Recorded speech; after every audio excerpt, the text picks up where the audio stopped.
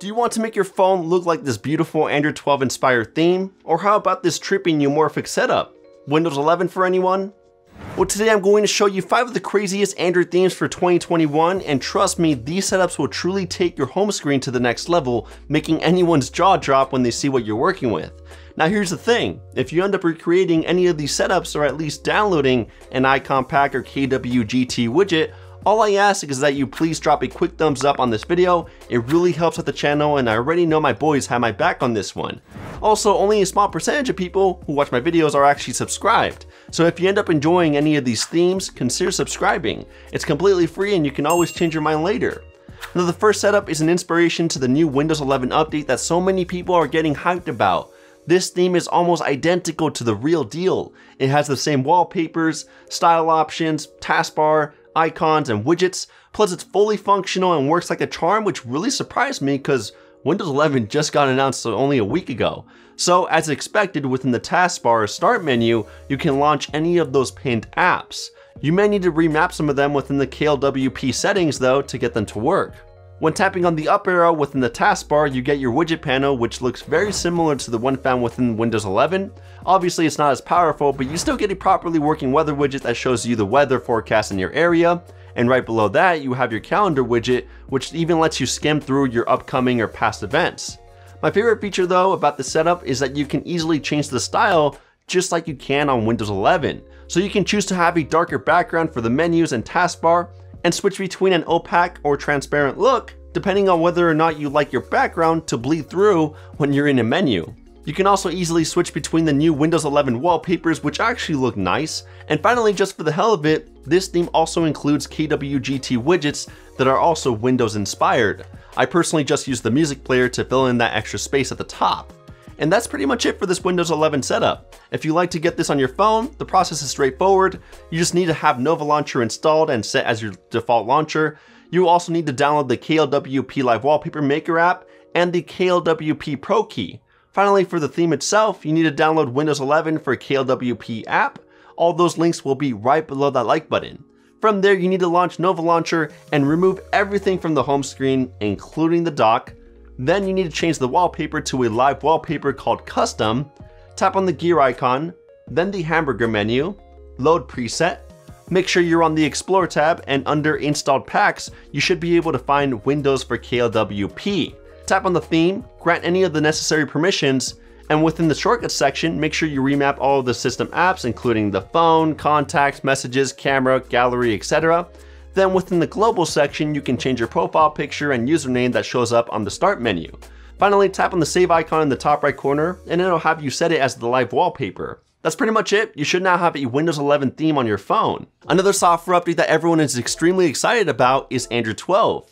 I mean, just check out this sneak peek from Google. You get new widgets, animations, dynamic theming, and a ton more design changes. Because I mean, fuckity fuck fuck, Jordan, look at this thing.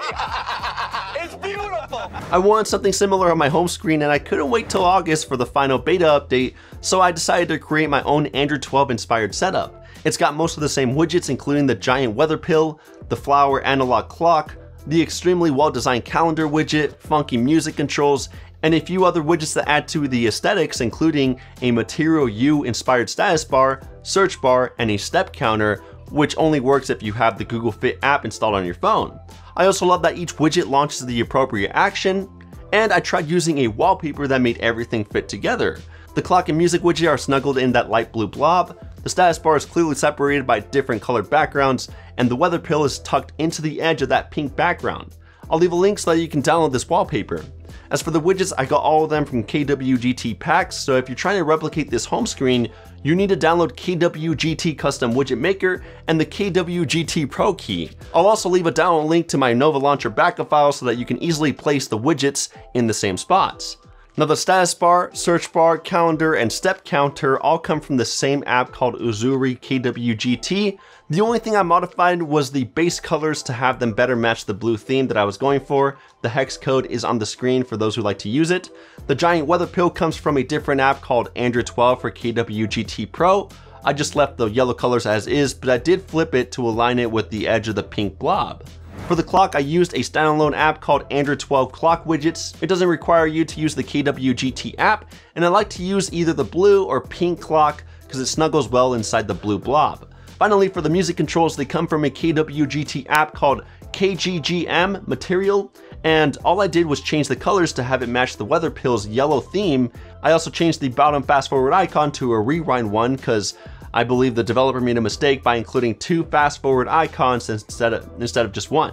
That's my entire Android 12 inspired theme. If you like an alternative Android 12 setup, I have another option. But before I show it off completely and explain the setup process, I wanted to show you some spectacular cases from RhinoShield to not only keep your phone damage free, but to also personalize it with a fun and awesome design.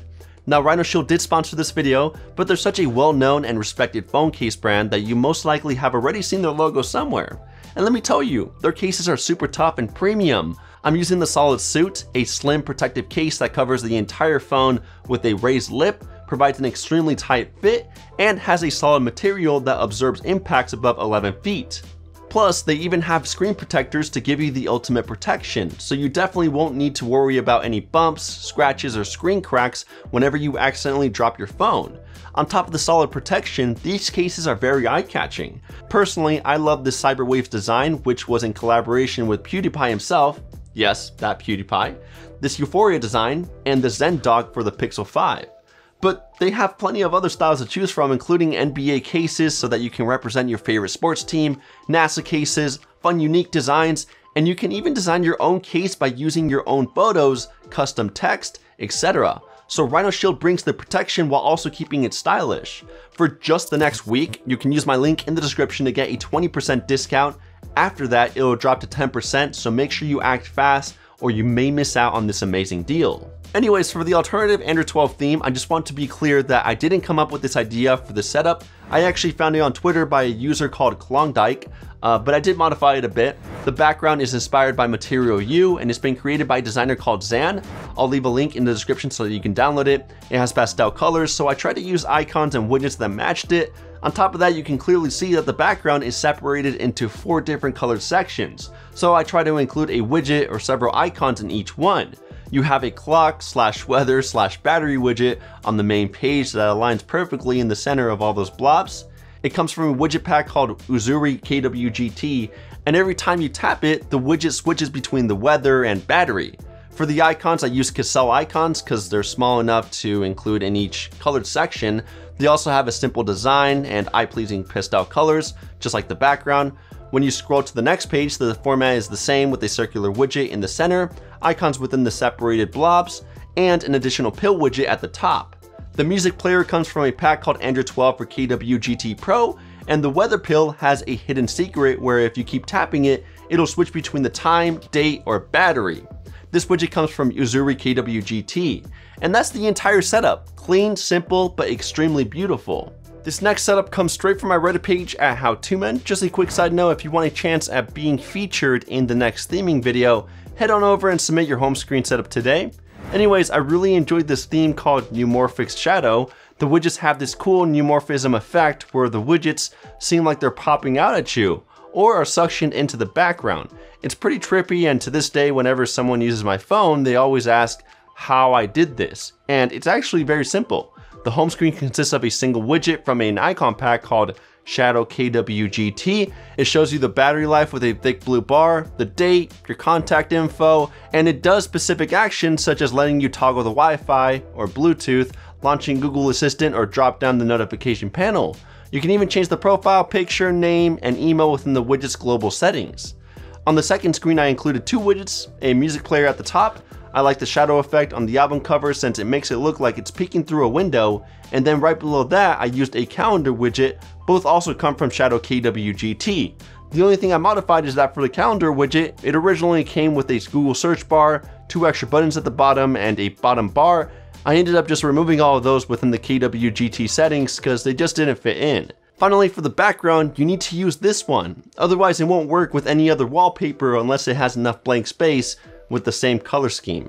I'll leave all the links to download the wallpaper, widgets, and even my Nova backup file right below the like button. I've saved the best thing for last. It's been created by another fellow tech YouTuber called Grabster TV, and he calls it Ubuntu Shamrock. Any Linux fans out there might be highly impressed by this because, as the title implies, it replicates the Linux Ubuntu OS. You have your icons on the side, and they look very similar. You get the same red, orange, and purple color scheme, and you can also bring up a fake terminal that gives you information about your phone.